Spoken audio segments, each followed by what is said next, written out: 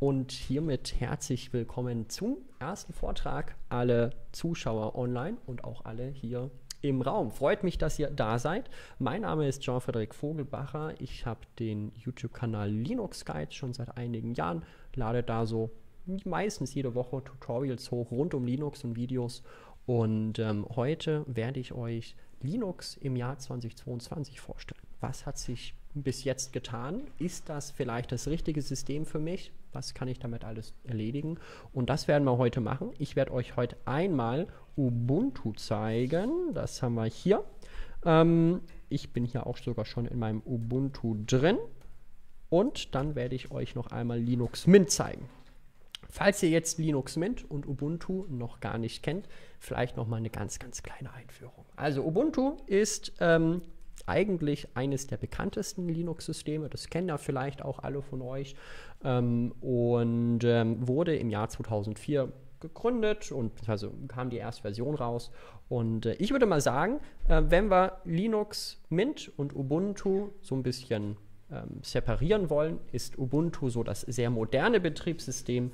Ähm, wir sehen es hier eine sehr, sehr coole Leiste hier links. Wir haben dort ein richtig, richtig cooles Menü, wie ich finde. Ähm, und das sieht schon alles sehr, sehr modern aus. Und ich muss sagen, da sind auch viele neidisch natürlich, die dann vielleicht ähm, auf Windows oder macOS sind. Ich glaube, die haben nicht ganz so schöne Desktops. Ein anderer Desktop, wem das alles viel zu schick ist und eigentlich braucht er nur einen ganz normalen Rechner, der einfach nur das tut, ähm, was er soll und ähm, wo man sich vielleicht auch direkt ein bisschen heimischer fühlt, ist hier Linux Mint. Das habe ich jetzt hier auch schon offen. Ähm, Linux Mint ist ja sehr, sehr klassisch aufgebaut. Wir haben hier eine Startleiste mit einem ganz einfachen Menü, mit Kategorien. Das sagen, sehen wir auch nochmal gleich alles später. Der große Unterschied ist zwischen Linux und Ubuntu, dass Ubuntu von einer Firma, Canonical, die kommen aus London ursprünglich, insgesamt ähm, ja, produzi produziert wird, entwickelt wird, herausgegeben wird. Und Linux Mint ist eigentlich nur ein ganz, ganz kleines Team. Ja? Der ähm, Chef von Linux Mint, wenn man so möchte, ist ähm, Franzose ähm, und die haben ein Team von vielleicht einer Handvoll von Leuten, die da wirklich, ähm, ich sag mal, die, das ganze System dann eigentlich programmieren. Natürlich, ähm, wie bei Linux üblich, kommen dann auch verschiedene Beiträge ähm, von anderen Nutzern. Das Schöne ist ja bei Linux, man kann sich ja den Code anschauen und äh, dann können auch andere Leute, ähm, wenn sie jetzt sehen, okay, da ist jetzt ein kleiner Fehler oder ich möchte jetzt hier in dieser Anwendung bei Linux Mint oder bei Ubuntu nochmal irgendwann ein zusätzliches Feature reinbringen, dann kann man das dann auch tatsächlich selber als einzige Person dann, ich sag mal, vorschlagen. Und in der Regel, wenn der Vorschlag gut ist, wird das dann auch reingenommen. Also das ist, ich würde sagen, Linux Mint mehr Gemeinschaft basiert und Ubuntu ist so ein bisschen mehr auf Firmen ausgerichtet. Ja, ich würde sagen, äh, das wäre es ganz, ganz grob zu dem Ganzen. Die aktuelle Version in Linux Mint ist die Version 21 und die aktuelle Version hier zurzeit ist die 22.04. Das ist eine sogenannte LTS-Version Ubuntu. Man kann auch ähm, andere Ubuntu-Versionen herunterladen. Die sind dann, ähm, also ähm, sind dann nicht ganz so stabil. LTS-Versionen kriegen mindestens fünf Jahre Updates, wenn er bezahlt sogar zehn Jahre. Und äh, das ist eigentlich auch immer ja, das System, was ich empfehlen würde, ähm, wenn ihr Ubuntu nutzen wollt, immer eine LTS-Version. Ja, herunterladen können wir das hier ganz einfach. Die Installation und wie man das einrichtet, werde ich euch jetzt heute hier nicht zeigen. Das habe ich am letzten Jahr auch schon gemacht hier an den Keyloggs. Da gibt es auch eine Aufzeichnung, könnt ihr euch anschauen. Äh, ich werde mal schauen, dass ich das in den Programmpunkt verlinke oder wenn ihr mal auf ähm, ähm, draußen schaut, ähm, wenn jetzt hier an die, die Leute, die hier drin sind, äh, da ist auch ein QR-Code, den ihr abscannen könnt bei dem einen Banner. Dort ist auch eine ganz schöne Anleitung, wie ihr das dann Schritt für Schritt machen könnt für Ubuntu und auch für Linux Mint. Ähm, an die Leute, die online da sind, da wird ein Link dann noch reingepostet. Beziehungsweise es müsste sein keylux.de slash Installation. Aber das, ähm, genau, ähm, werdet ihr dann sehen. Ähm, ansonsten würde ich sagen, starten wir einfach mal, was denn jetzt so Linux eigentlich so richtig ausmacht, was die Besonderheiten von den Systemen sind und was ich so machen kann. Ich würde sagen, starten wir mit Ubuntu. Und Ubuntu, ich habe hier gerade den Firefox offen, den kann ich hier auch einfach mal schließen. Und ähm, wir haben hier eine sehr, sehr moderne Oberfläche, wie schon vorhin gezeigt. Ähm, wir haben hier links einmal unsere Favoriten und Anwendungsleiste. Das heißt, wenn ich jetzt hier eine Anwendung öffne, ich kann hier beispielsweise direkt auf Dateien draufgehen, dann boah, haben wir hier so auch einen kleinen Punkt, der das markiert. Und wenn ich jetzt eine andere Anwendung öffnen möchte, die jetzt hier nicht drin ist, gehe ich hier einmal runter und kann hier beispielsweise, äh, was öffnen wir denn? Nehmen wir doch einfach mal den Kalender. Ja? Und dann erscheint da ein neues Icon und genau. Da haben wir den Kalender quasi geöffnet. Ja, das wäre so ganz, ganz grob. Die Buttons hier sind auch gleich. Also ich denke, wenn man so mal einen Computer gesehen hat, dann sollte das schon alles klappen. Eine Besonderheit gibt es auch nochmal. Da können wir auch nochmal zwei Fenster für aufmachen. Wenn wir auf Aktivitäten gehen, dann können wir hier alle offenen Fenster sehen und dann auf, den ein, auf das ein oder andere Fenster klicken. Wir können auch das ein oder andere Fenster direkt in diese Oberfläche schließen oder wir können es auch auf eine neue Arbeitsfläche packen. Das ist dann einmal hier drüben und mit dem Mausrad, wenn ich das jetzt bewege, kann ich hier zwischen den Arbeitsflächen hin und her wechseln. Man kann eigentlich beliebig viele erstellen. Das ist eigentlich ein sehr, sehr cooles Workflow-Management. Ich muss gestehen, ich selber nutze das nicht so. Wenn man mehrere Bildschirme hat, dann sind diese Oberflächen eigentlich eher so unnütz. Aber wenn man nur einen Bildschirm hat, ist das wirklich mega. Also das nutze ich dann doch häufiger auch wieder am Laptop. Ja, Genau, das wäre so ganz, ganz, ganz grob die Oberfläche. Hier oben haben wir unseren, unsere Benachrichtigungen. Wir können ja auch einen Nicht-Stören-Modus natürlich aktivieren. Eine kleine Kalenderübersicht. Auch die Termine, die heute anstehen. Ähm, und dann rechts haben wir ja auch nochmal eine kleine Schaltzentrale, wo wir den Sound regeln können ähm, und auch den Rechner am Ende herunterfahren können. Genau, das wäre es soweit zu Ubuntu. Gibt es denn soweit Fragen hier so zur Oberfläche allgemein aus dem Plenum? Nicht der Fall. Gibt es hier Fragen? Hm, Chat auch nicht. Danke dir. Super. Dann würde ich sagen, äh, springen wir um auf Linux Mint. Linux Mint ist ein bisschen altbackener, muss ich ehrlich gestehen. Also ich kann hier auch mal den Firefox erstmal schließen, den brauchen wir nicht mehr. Wir haben hier auch ganz normal unsere Schließen-Buttons und eben eine ganz normale Leiste. Und das erinnert sehr an Windows 7 oder Windows 10 beispielsweise, so vom Management her von den Dingern hier ähm, sieht dem schon relativ ähnlich aus. Also wenn ich jetzt hier äh, die Dateien öffne beispielsweise, dann haben wir hier auch das markiert oder eine andere Anwendung. Dann sieht man das halt eben auch als Icon. Und wir haben hier ein sehr, sehr tolles, kleines, aber feines Menü. Ähm, hier haben wir nochmal so ganz eine coole Schnellstartleiste, wo wir die Anwendungsverwaltung beispielsweise auch öffnen können und so ein ganz komisches Programm mit so weißer Schrift auf schwarzem Grund, was man aber eigentlich auf Linux gar nicht mehr so braucht. Ähm, und dann hier einmal verschiedene Kategorien, Büro, Grafik, Internet und so weiter. Und dann kann man sich hier auch durchklicken. Ja, das wäre es dazu. Ähm, genau, da unten haben wir nochmal ein paar System-Icons, beispielsweise dann unsere Aktualisierungsverwaltung, die uns jetzt hier sagt, ich glaube, da ist jetzt gerade meine Webcam davor, ähm, Ihr System ist auf dem neuesten Stand. Ich kann das mal ganz schnell hochziehen. Oder kannst du mal schnell auf ohne Webcam schalten? Das wäre mega. Schauen wir mal, warten wir mal, ob das klappt. Ohne Webcam, das ist die dritte, die, der dritte Eintrag müsste das sein. Der dritte Eintrag? Ja, schau mal. Perfekt, jetzt sehen wir das. Und äh, da unten sind dann hier die, ähm, genau, verschiedene Icons. Systemberichte können wir ja anzeigen, das ist auch eine sehr, sehr coole Sache. Ähm, also Linux Mint ist eigentlich immer sehr stets besorgt um den eigenen Nutzer und zeigt dir an, wenn du Aktualisierungen machen möchtest oder wenn auch verschiedene andere ähm, Sachen anstehen, wie beispielsweise, hey, ich kann auch Sprachpakete installieren und ich soll doch mein System Wiederherstellungsprogramm einrichten. Ne? Klar, das System habe ich jetzt hier vor kurzem neu installiert ähm, und äh, genau, von hier aus starten wir.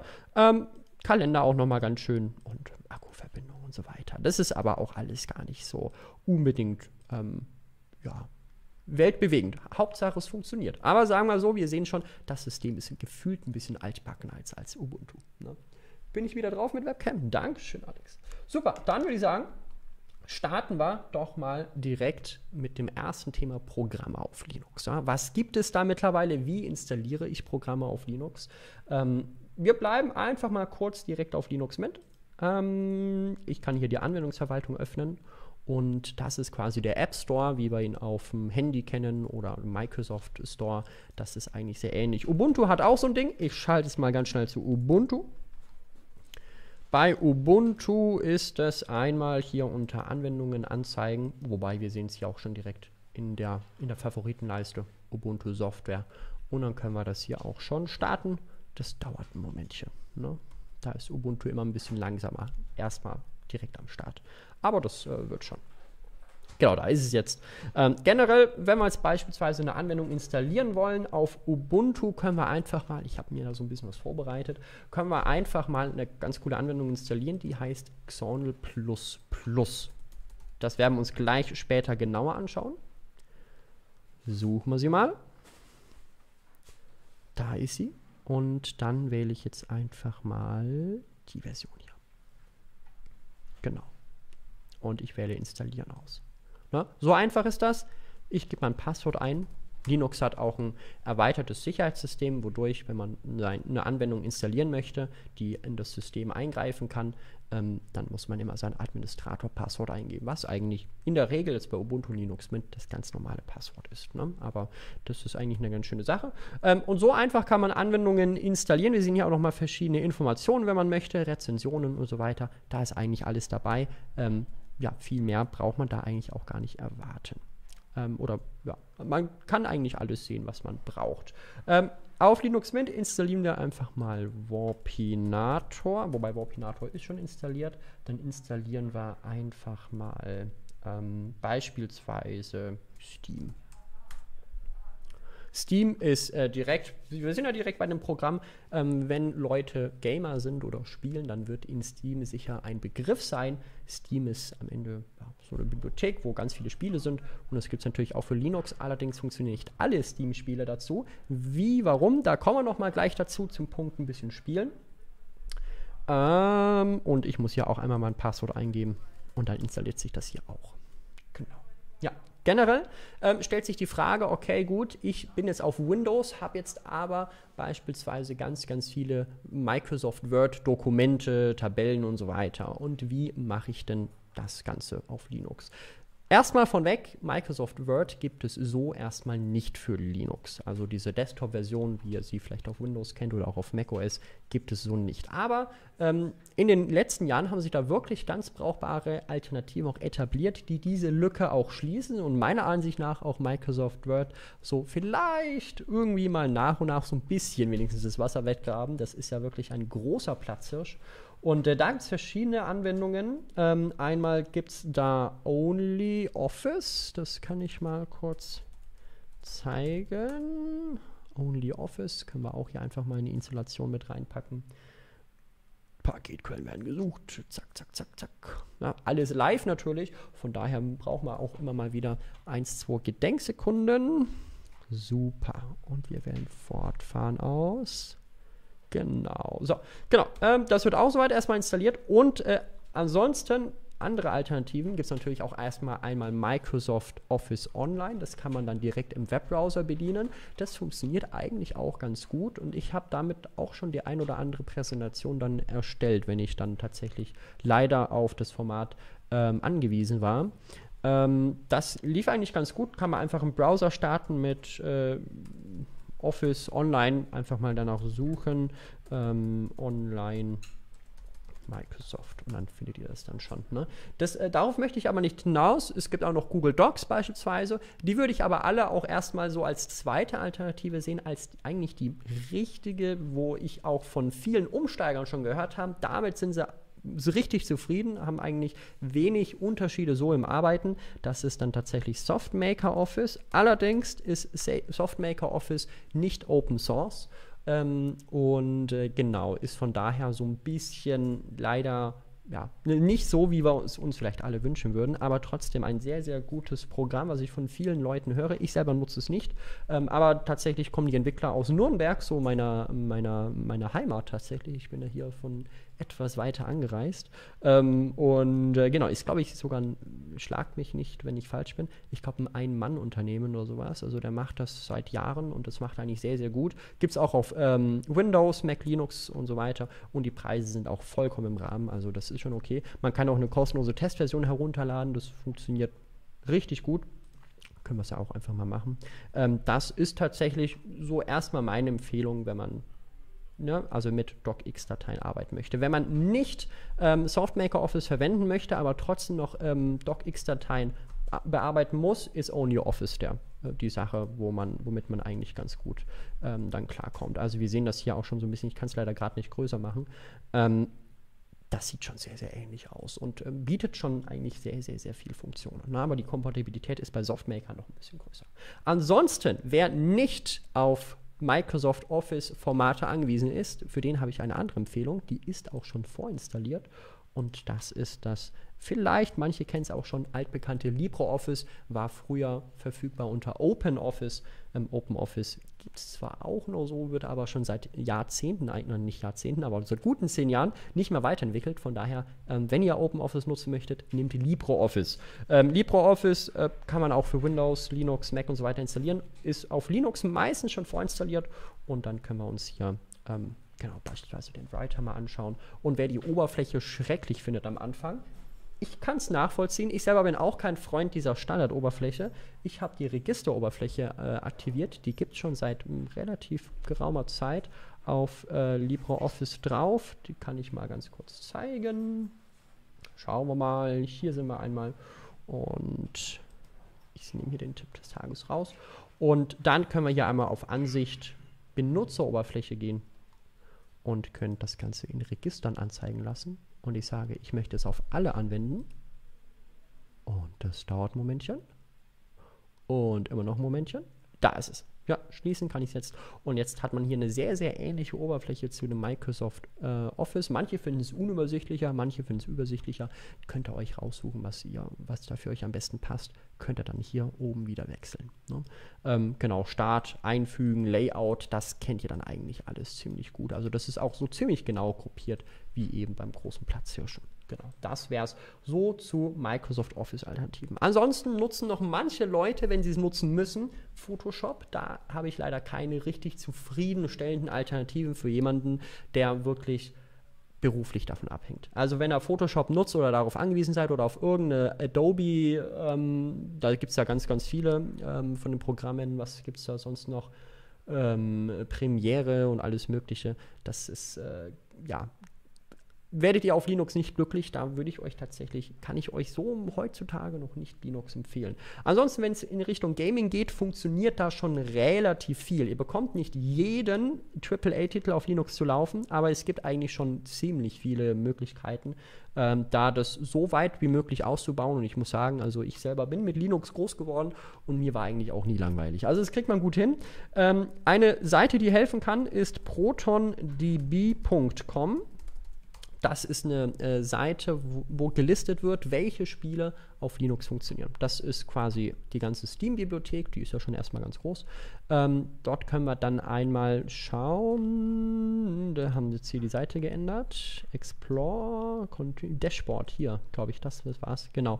Ähm, dort sieht man, ähm, welche Spiele mit ähm, Linux ganz gut laufen. Das ist jetzt auch für das Steam Deck, was ja am Ende auch Linux ist, auch mit ausgebaut worden. Aber dort sehen wir dann, ähm, welche Titel halt eben am besten laufen. Das sind die Top 10 einmal und da sehen wir, okay, gut, in der Hinsicht sind 40% nicht supported für Linux und 50% sind spielbar und 10% sind verifiziert spielbar. Ne? Warte mal, ich glaube, ich gehe mal hier auf. Äh, hier kann man das Rating-System einstellen. Steam Deck Verified wahrscheinlich. Ne? Ähm, aber generell, wenn ihr jetzt beispielsweise ein Spiel habt, beispielsweise nämlich, ja, mir fällt gerade nichts anderes ein, obwohl ich es auch nie gespielt habe, aber äh, Landwirtschafts- oder warte mal, wie heißt das? Farming Simulator oder sowas. Gehen wir mal Farming ein. Hier sehen wir die und dort sehen wir dann auch die Badges, wie die funktionieren. Ne? Gold, Platin und so weiter funktioniert. Ähm, Sachen, die jetzt hier wenig bewertet sind, haben einfach noch keine Reports. Ähm, Gold, Bronze funktioniert auch. Was nicht funktioniert, sind die roten Sachen. Und da gibt es tatsächlich irgendwo, ich finde die Statistik hier live gerade nicht, äh, ich glaube um die 90% aus der Steam-Bibliothek sind für Linux komplett äh, nutzbar. Wobei man muss sagen, die obersten 10% sind dann meist die bekannteren Spiele. Ja, also wenn wir da beispielsweise jetzt ähm, ich habe auch letztens mal eine Grafik zusammengestellt. Können wir mal ganz kurz schauen. Mastodon.online. Ne, .social, glaube ich. Ist es so hier? Egal, da habe ich mal eine, eine, Grafik zusammengestellt. Ähm, können wir mal suchen, wo man sieht, welche Spiele jetzt eigentlich gut laufen oder nicht. Okay, ich glaube, Add Linux Guides muss ich eingeben und dann funktioniert es auch. Ha, schau mal. Sag bloß. Medien, schauen wir mal rein. So, da habe ich hier ganz viel gepostet. Da haben wir es doch gleich. Da sind gleich die Spiele. Dann gleich die Spiele. Da haben wir sie gleich. Genau, genau, genau, genau. Spiele, Spiele, Spiele, Spiele, Spiele. Da sind die Spiele. Da sieht man, was läuft, was nicht von den großen Spielen. Ne? Ich kann das mal in, um, im neuen Tab öffnen, sieht man das ein bisschen größer und mal im Vollbild. Also funktionieren tun beispielsweise Counter-Strike, Dota 2, Apex Legends, Team Fortress, GTA, Elden Ring, FIFA 22, Minecraft, League of Legends, Rocket League und so weiter, die funktionieren eigentlich ganz gut. Ansonsten gibt es Spiele, die manchmal nicht so gut funktionieren. Das ist Lost Ark, Rust, Destiny 2, PUBG, Fortnite, Valorant oder Call of Duty beispielsweise. Jetzt einfach mal so ein paar Spiele genannt. Generell kann man all, aber alle die Spiele, die hier nicht funktionieren, immer noch über Cloud Gaming erreichen. Ich weiß nicht, ob ihr Google Stadia oder andere, ich glaube GeForce Now gibt es auch noch, ähm, Services kennt. Dort kann man dann im Webbrowser dann einmal auch tatsächlich die Spiele dann spielen. Und das funktioniert großartig. Das habe ich vor ein, zwei Jahren mal selber ausprobiert, mal für eine Zeit lang. Ich habe leider dann zu wenig gespielt, dann habe ich das Abo beendet. Ähm, aber dann habe ich tatsächlich auch hier die ganzen bekannten Spiele, ich glaube Destiny 2 auch relativ viel, dann über den Browser auf Linux gespielt. Das funktioniert großartig. Also von daher, da gibt es schon große Möglichkeiten, ähm, aber ja, so die hundertprozentige ähm, Kompatibilität bekommt man dann leider nicht hin. Das wäre es soweit dazu. Gibt es noch Fragen soweit zu Programme installieren auf Linux oder welche Programme auf Linux laufen? Äh, sind Fragen im Chat aufgekommen? Frage ich mal ganz kurz. Sind keine Fragen aufgekommen. Hier auch nicht. Gut. Dann würde ich sagen, machen wir weiter und wir sind hier mal auf Ubuntu angelangt. Ähm, kommen wir mal zum Thema Dokumente erstellen, bearbeiten, drucken, scannen. Ich denke, Dokumente erstellen würde ich gar nicht mehr so viel behandeln. Wir haben ja die Office-Thematik schon ganz gut behandelt. LibreOffice gibt es genauso auch für Ubuntu. Nebenbei auch tatsächlich, ob ihr euch fragt, hey, wenn das Programm auf Ubuntu läuft, läuft es auch auf Linux Mint. Ich kann euch beruhigen, wenn Programm auf einer der beiden Distributionen läuft, dann läuft es eigentlich auf der anderen auch. Also da gibt es programmtechnisch eigentlich wenig Unterschiede. Bis zu gar keine. Eins, zwei kleine, aber das kriegt man auch noch hin, wenn man das möchte.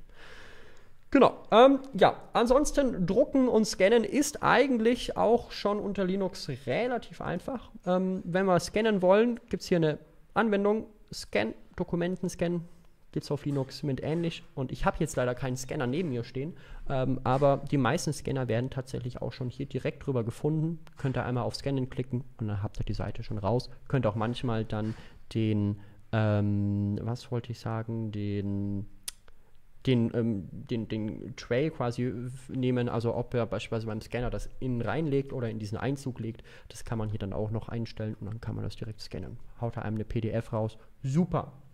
Ähm, genau. Das Drucken ist sogar eigentlich noch einfacher. Die Drucker werden in der Regel auch schon automatisch erkannt, sofern euer Modell unter Linux unterstützt wird. Was eigentlich ganz gut funktioniert, sind die Brother-Drucker oder HP-Drucker.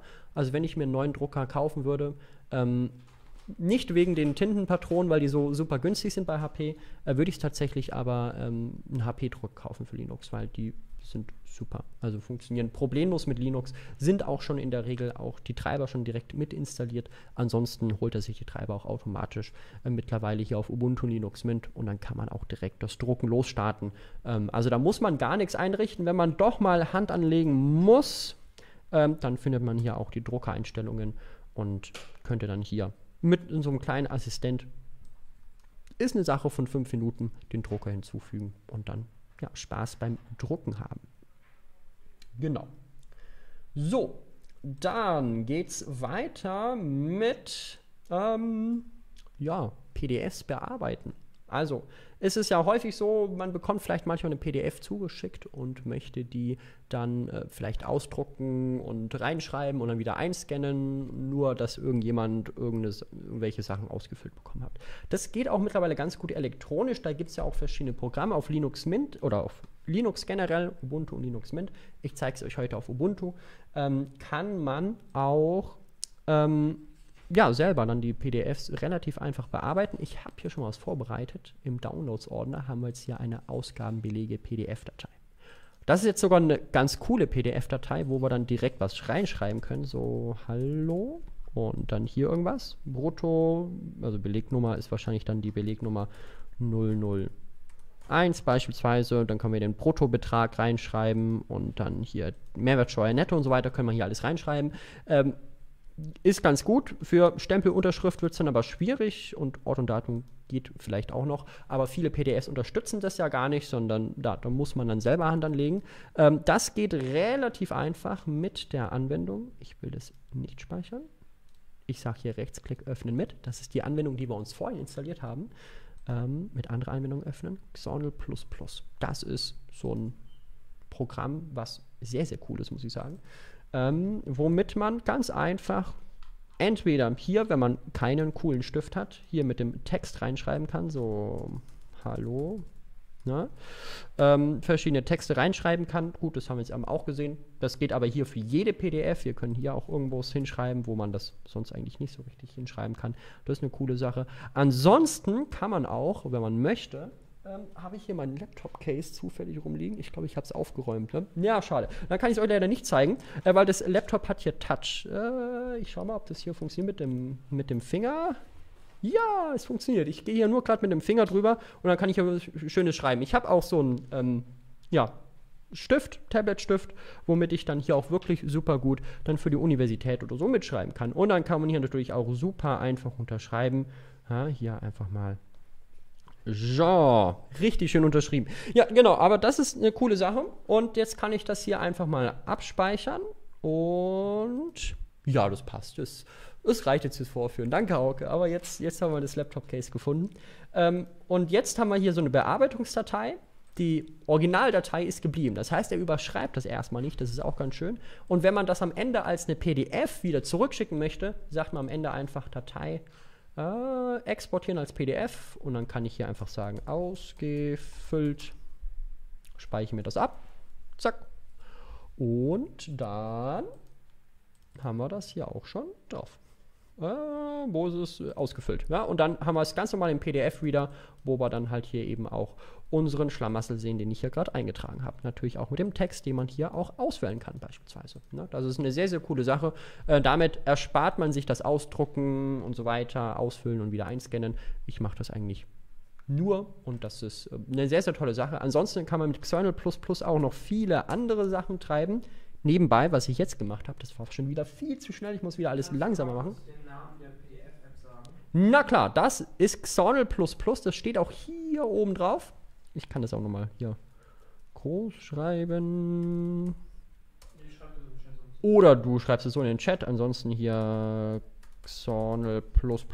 Gibt es eigentlich auf allen Linux-Stores oder ich weiß nicht, ob es das für Windows gibt. Auf Windows gibt es, glaube ich, auch eine Version. Ach, ich kann es leider nicht größer machen, ne?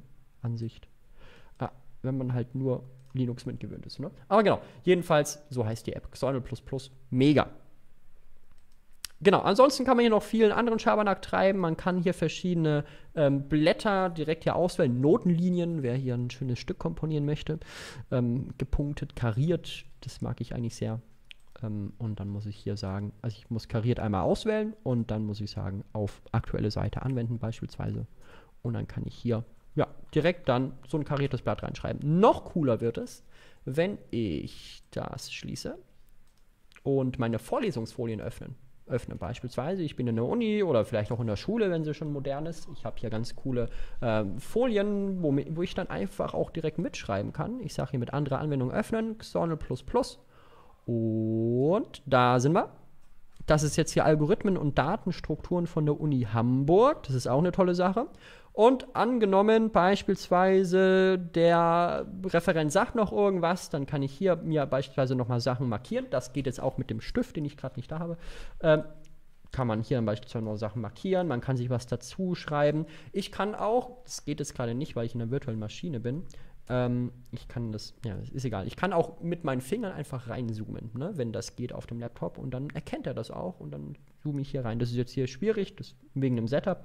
Ähm, Glaub mir, es geht. Ähm, und äh, jedenfalls, das wäre es dazu. Und ich kann auch beispielsweise auch jetzt hier, wenn der jetzt beispielsweise nochmal eine Übungsaufgabe dazu rechnet, kann ich auch hier einfach in die bestehende PDF eine neue Seite einfügen, in kariert und sage einfach in dem Fall Plus. Und dann ist jetzt hier einmal unsere normalen Folien, hier unsere Schreibfolie und danach kommen die weiteren Folien weiter rein. Und dann kann ich jetzt hier auch nochmal irgendwas hinschreiben. Das ist sehr, sehr cool und damit muss ich sagen, habe ich auch so mein Bachelorstudium mit bestritten. Und das ist eine sehr, sehr schöne Sache. Speichern kann ich das auch einfach so. Das ist dann wieder die bearbeitete Datei. Ihr kennt das Spiel. Die Vorlesungsfolien sind noch selber so unbeschadet und die Bearbeitungsdatei ist da exportieren kann man das natürlich am Ende auch wieder als PDF. Ja, das ist so jetzt Xonal was ich muss sagen, ein sehr, sehr cooles Programm ist für Linux. Und ich äh, habe auch viele gehört, die Microsoft OneNote, glaube ich, ist das auf der Gegenseite nutzen. Das schmiert häufiger mal ab und macht viel, viel mehr Zicken als Xonal Also von daher können wir da uns auf der Linux-Welt auch sehr glücklich schätzen, dass sich das mittlerweile so entwickelt hat. Also das hat in den letzten Jahren auch enorm viel an Potenzial zugewonnen, muss man sagen. Das wäre es so zu den Dokumenten. Ich muss mal schon auf die Zeit schauen. Wir müssen mal ein bisschen auf die Tube drücken. Ähm, weiter geht es mit ähm, beispielsweise, oder eine, eine ganz kurze Sache, wenn ihr eine PDF wieder in Word oder in ODT, in das ODT-Format umwandeln wollt, Ganz kleiner Tipp, funktionieren die so richtig auf Linux. Also man kann das natürlich dann öffnen mit, äh, mit LibreOffice Draw, dann kann man so einzelne Sachen ändern, dann ist es manchmal auch verschoben und es ist eigentlich auch nichts. Wenn ihr ein PDF umändern wollt in gescheites Word wieder, wo man, wo man auch wirklich wieder mit reinarbeiten kann, dann habe ich das, muss ich leider einmal selber machen. Ähm, Gibt es da eine Internetadresse, ist leider Adobe, aber ist eine Online, ist eine Online-Seite. Ich kann das hier mal ganz schnell äh, reinschreiben. Das ist eine ganz, ganz tolle Seite, wo man ein PDF einfach wirklich ganz einfach, ich glaube, in DocX äh, umwandeln kann. Vielleicht auch in ODT, weiß ich nicht. Ähm, ich habe es, glaube ich, in ein StockX-Format umgewandelt und dann tatsächlich mit Softmaker Office bearbeitet. Äh, was ich euch ja vorhin gezeigt habe, das ist dann adobe.com.de Acrobat Online PDF to Word .html. Ich hoffe, ich habe mich nicht verschrieben. Nein, ich habe mich nicht verschrieben. Und äh, da auf der Seite kann man ganz einfach sein Dokument auswählen und dann das einfach in Word umwandeln. Das ist eine sehr, sehr coole Sache. Ist leider nicht Open Source, aber wenn ihr das braucht, so würde ich das unter Linux machen.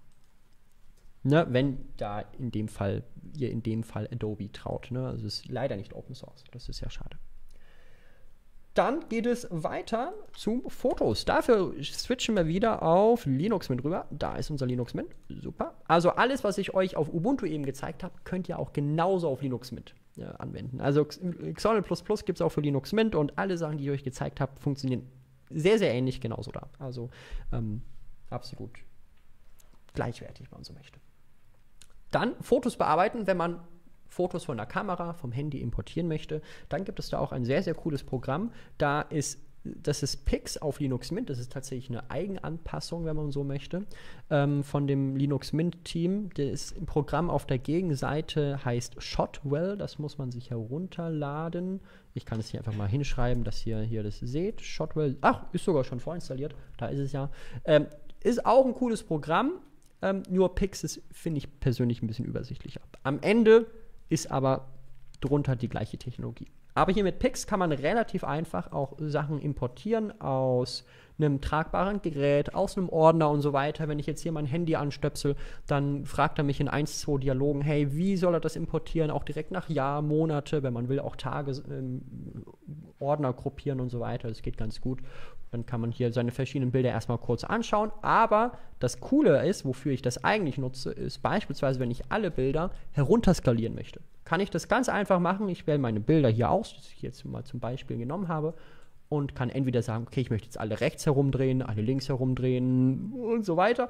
Ich kann das Format umwandeln, aber auch die Bildgröße ändern. Und dann kann ich hier sagen, okay, gut, ich möchte das jetzt beispielsweise alles auf 50% der ursprünglichen Größe vergrößern oder auch auf eine gewisse Pixelzahl und auch dabei das ursprüngliche Seitenverhältnis beibehalten. Das heißt, es bewegt, das Bild bewegt sich dann in diesem Rahmen. Ist eine sehr coole Sache, damit kann man sehr, sehr einfach dann Bilder skalieren. Ähm, ich mache das jetzt beispielsweise hier mal ähm, in das Vorgeschlagene. Als Ziel wähle ich jetzt einfach mal Downloads aus, dass wir mal einen anderen Ordner haben. Und das Format kann man hier auswählen. Das ist standardmäßig, glaube ich, alles JPEGs. Könnte ich hier aber auch umwandeln in WebP, PNG oder JPEG. Das sind jetzt wahrscheinlich die bekannteren. Die anderen gibt es auch. Weiß ich nicht, ob man die braucht. Ähm, aber jetzt kann ich das hier beispielsweise ganz normal in JPEG umwandeln. Auch nochmal bzw. sicherstellen und dann sagen ausführen. Und dann macht er das auch schon. Und wenn ich jetzt mal in den Downloads-Ordner reinschaue, dann tauchen hier auch schon nach und nach die Bilder auf. Und die sind alle relativ klein, wie wir sehen. Und wenn wir da drauf gehen, dann sind sie so pixelig, wie wir es auch wollten. Genau, ah, hier einfach so. Ne? Sehr, sehr pixelig. Dagegen das Original ist natürlich dann etwas schärfer. Ne, klar haben wir jetzt runterskaliert. Manchmal braucht man das aber, äh, beispielsweise so als kleinen Anwendungszweck. Ansonsten, was cool ist, man kann die Bilder auch sehr, sehr schnell bearbeiten. Hier einfach auf Datei bearbeiten klicken und dann können wir hier viele verschiedene Sachen machen. Das, das möchte ich aber eigentlich nicht. Ich möchte hier in den Bilderordner wieder gehen. Da sind die originalen Dateien. Also einfach mal anklicken, auf Bearbeiten drücken. Hier können wir auch noch die anderen aus dem Ordner sehen. Und jetzt kann ich hier entweder das Ganze zuschneiden, ähm, sehr, sehr einfach. Hm, kann ich dann hier auswählen ähm, zack. Oder ich kann es angleichen von den Farben her. Das sieht schrecklich aus. Das sieht nicht so gut aus. Kann man auch rückgängig machen, natürlich mit Steuerung Z oder hier. Oder ein Kontrastabgleich ist eigentlich immer ganz schön. Oder rechts herumdrehen, spiegeln, drehen. Also ganz, ganz kleine Sachen. Es ist nicht unbedingt viel. Man kann da jetzt keine Fotomontage machen. Rote Augen entfernen ist da das krasseste, was es gibt. Ansonsten vergisst es. Ne? Aber so für den kleinen, schnellen, für die kleine, schnelle Fotobearbeitung mache ich das mittlerweile so. Ne? Ansonsten, wer eine große, schnelle Fotobearbeitung braucht und halt eben leider nicht auf Photoshop zurückgreifen kann, ist GIMP auch mittlerweile ein sehr, sehr gutes Programm. Ist mittlerweile gar nicht mehr vorinstalliert auf Linux, Mint und Ubuntu. Ähm, kann man sich aber ganz einfach hier aus der Anwendungsverwaltung dann holen Zack. Und dann ist das auch eine sehr empfehlenswerte Sache. Ja, das wäre es dazu. Ansonsten würde ich mal sagen, gehen wir zum, einem, zu einem letzten Thema, was ich auch noch mal kurz aufgreifen möchte.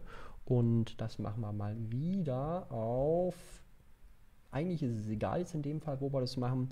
Ich sage aber, wir machen es auf Ubuntu, weil wir das lange nicht mehr gesehen haben. Und das ist am Ende Synchronisation. Also, wie kann ich am besten meine Cloud einbinden? Egal, ob ich eine Google Cloud habe, ob ich da angemeldet bin oder vielleicht auch Dropbox oder vielleicht auch eine eigene Cloud. Ja? Das ist die Sache. Da gibt es im Linux- und Open Source-Umfeld eigentlich eine sehr, sehr, sehr, sehr tolle Anwendung. Die nennt sich Nextcloud. Wenn ihr das noch nicht kennt, ähm, und ich habe da so eine kleine Testinstanz vorbereitet und ich würde sagen, wir schauen uns einfach mal an, was alles möglich ist. Und dafür gehe ich hier einfach mal auf cloud.linuxguides.de in dem Fall. Das ist meine eigene Team-Cloud jetzt hier für meinen YouTube-Kanal. Und ich bin hier leider schon angemeldet. Wobei ist ja gut, ich muss das Passwort nicht mal angeben. Ähm, das, äh, genau, kann man sich entweder selber ähm, auch aufziehen, auch zu Hause, dass die Daten wirklich im eigenen Heim gespeichert sind, kann man so machen.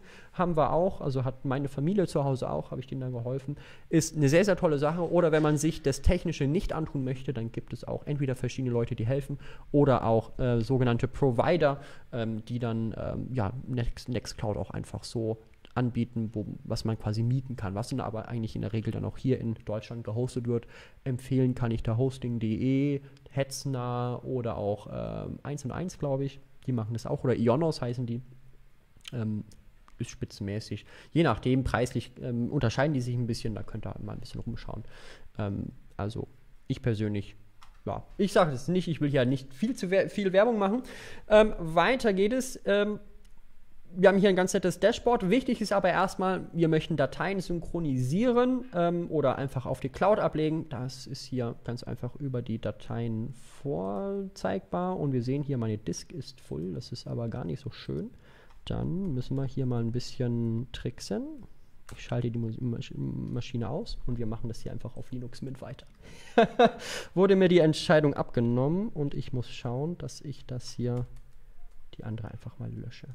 Das ist egal. Ja, genau. Ah, dass das passiert, wenn die Disk voll ist. Ich schalte die auch einfach mal aus.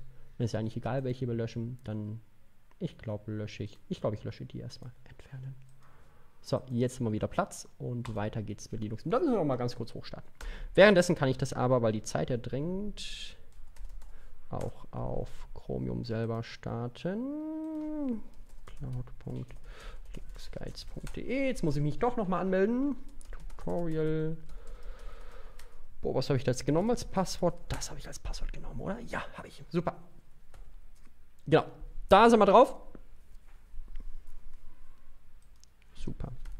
Nebenbei. Ich glaube, das ist nicht gut, wenn wir das auf Linux Mint machen, weil das hat hier gerade ein Problemchen. Äh, ich glaube, wir machen das doch auf Ubuntu. Dafür haue ich nochmal Ubuntu kurz hoch. Und wir beenden das nochmal. Ja, ist live alles. Von daher kann da auch live das ein oder andere passieren. Aber das ist erstmal alles kein Stress. So, jetzt sind wir wieder da auf unserer Linux Guides Cloud in dem Fall. Ich habe das so ein bisschen thematisch angepasst. Normalerweise ist das in einem schönen Blau mit einem tollen Hintergrund und so habe ich jetzt ein bisschen auf das Linux Guide Grün angepasst. Aber jetzt hat man hier einmal eine ganz normale Dateiverwaltung, ähm, wo man auch ne, beispielsweise auch Dateien so direkt anschauen kann, beispielsweise auch Videos, wie wir hier sehen. Wir können uns PDFs anzeigen lassen natürlich, aber was auch cool ist, wir können auch online Sachen bearbeiten. Beispielsweise hier, Welcome to Nextcloud Hub ist hier drin, eine docx-Datei und jetzt öffnet sich in meiner Cloud ein Online-Editor und das ist nicht alles, jetzt komme ich alles bearbeiten. Das Coole ist, wenn jetzt andere Leute auch auf meiner Cloud angemeldet sind oder wenn ich einen Link teile, dann können auch mehrere Leute gleichzeitig auf einer Datei arbeiten. Mega, kann ich nur sagen. Ähm, nutze ich auch immer mal wieder, äh, diese be gemeinsam bearbeiten Funktion. Spitze, ähm, kann, ich nur, kann ich nur weiterempfehlen. Ist relativ einfach auch eingerichtet, beziehungsweise wenn das bei einem Hosting-Provider nimmt, dann ist das in der Regel auch direkt mit drauf. Das ist eine schöne Sache.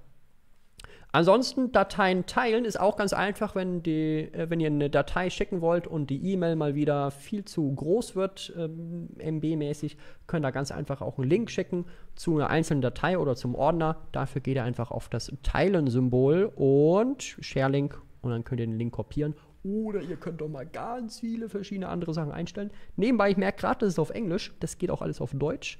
Ähm, na gut, wir, wir sind etwas im Stress, also etwas zeitlich ähm, angespannt. Von daher muss es jetzt erstmal so reichen. Kann mir ganz einfach sharen ähm, und verschiedene Einstellungen nochmal einstellen und den Link dann irgendjemandem schicken und der kann sich das herunterladen oder je nachdem auch Dateien bearbeiten, hochladen, was man da auch eben eingestellt hat. Ja, das ist eigentlich so erstmal das Haupt, der Haupt, das Hauptmerkmal. Was ich ansonsten mache, beispielsweise, sind meine Kontakte mit der Nextcloud zu synchronisieren. Das ist jetzt hier ein Testaccount, deswegen ist ja kein Kontakt da. Aber ihr seht, hier kann man einiges einstellen und wenn man möchte, natürlich auch äh, noch ganz viele weitere Felder hier hinzufügen, wenn man möchte. Ähm, Kalender ist auch klasse, auch mit dem Team, kann man auch mit seinem Team sharen, kann man auch öffentlich stellen beispielsweise, wenn andere da auch mit reinschauen sollen.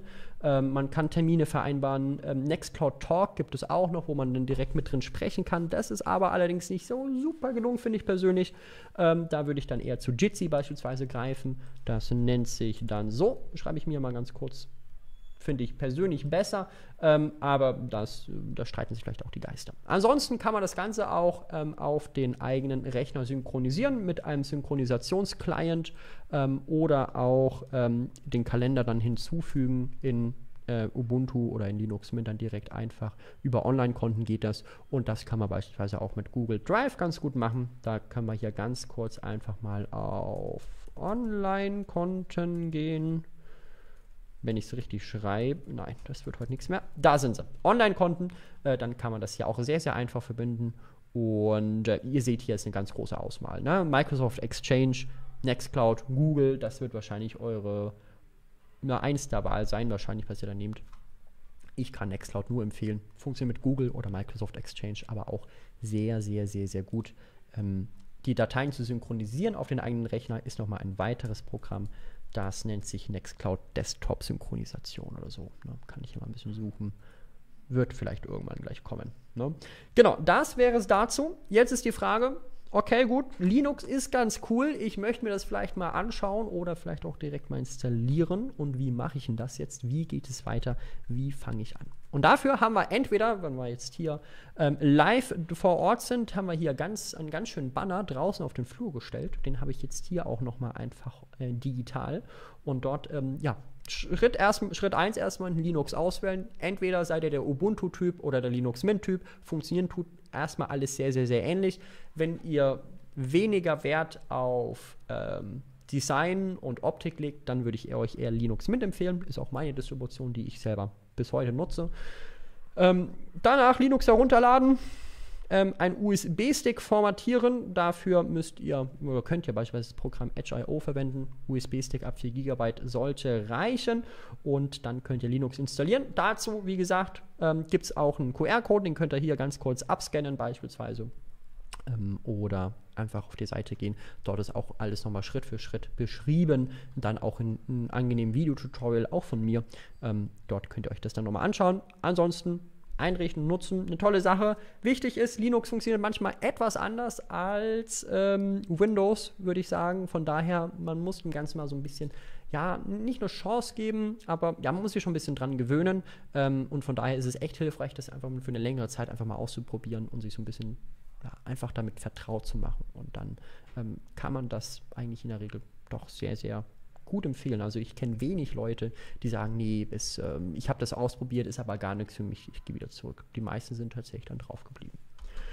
Dann geht's weiter mit mehr erfahren. Wenn ihr etwas mehr erfahren wollt, da habe ich mir auch viel nochmal so dazu reingeschrieben. Ähm, entweder hier wiki ubuntuusers.de ist eine tolle Community oder auch wegen, wie gesagt, ein großes, großes Wiki ähm, oder auch Linux Mint Users. Aber auch wenn ihr auf Linux Mint seid, ist Ubuntu Users wahrscheinlich trotzdem meist die bessere Wahl, weil Linux Mint Users ist nicht so krass entwickelt. Und weil tatsächlich fast alles genau gleich ist zwischen Ubuntu und Linux Mint, kann man auch super Ubuntu Users verwenden dafür. Ansonsten, wenn ihr Hilfe braucht, sprecht uns hier einfach vor Ort an oder ähm, geht auf äh, Veranstaltungen wie dieser ähm, in, auf Linux äh, oder es gibt auch verschiedene lokale Linux-User-Gruppen, das heißt in deiner Stadt vielleicht auch, ähm, wenn du jetzt gerade nicht in der Nähe von Kiel bist oder von einer anderen großen Linux-Veranstaltung, gibt es eigentlich auch fast überall so kleinere Gruppen, die dann auch gerne helfen. Kann man auch meinen Laptop einfach so mal mitbringen, wenn da ein Stammtisch oder so ist, die in der Regel sind da immer sehr, sehr hilfsbereit. Und ähm, genau, ja, dort könnt ihr auch in Kontakt kommen und äh, natürlich auch ähm, auf Linux Guides haben wir verschiedene Gruppen, aber auch, wie gesagt, Ubuntu Users und Linux Mint Users ist auch eine sehr, sehr, sehr, sehr, sehr gute Plattform jeweils. Ja.